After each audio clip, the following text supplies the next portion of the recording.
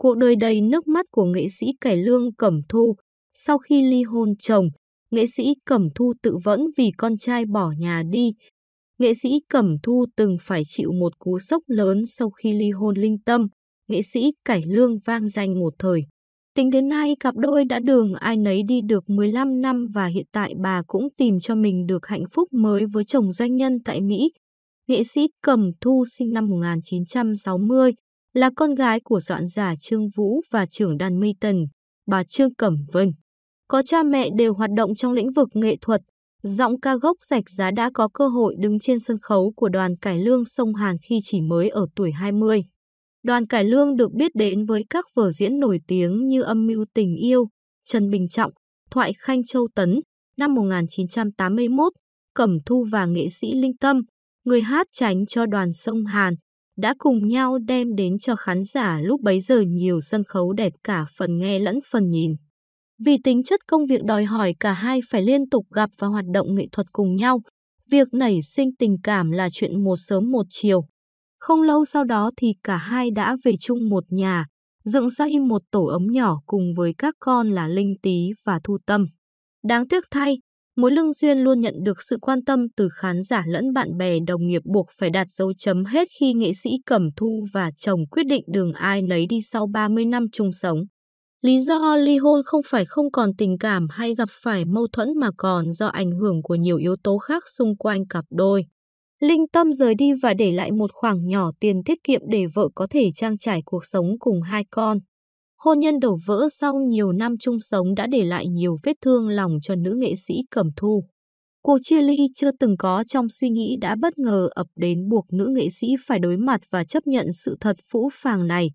Sau hơn 10 năm chia tay nhau, đôi nghệ sĩ tài danh Linh Tâm Cẩm Thu cùng với con trai Linh Tý sẽ đứng chung một sân khấu để tái hiện lại trích đoạn vở diễn bài ca tìm mẹ nổi tiếng của gia đình từng lấy nước mắt của biết bao thế hệ khán giả yêu mến cải lương tại cuộc thi sao nối ngồi tuy đã ly dị với nam nghệ sĩ Linh Tâm. Cả hai đều đã có gia đình riêng ở Mỹ nhưng với Cẩm Thu thì cái nghĩa vẫn còn đầy.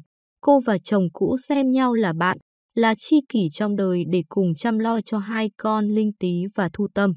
Mặc dù không oán hận nhau, nhưng kể từ khi chia tay, Linh Tâm và Cẩm Thu chưa từng có một cơ hội diễn chung, chia sẻ về sự đổ vỡ trong cuộc hôn nhân cũ, Cẩm Thu nói, cuộc đời tôi chưa bao giờ giận ai dù là chuyện lớn hay nhỏ.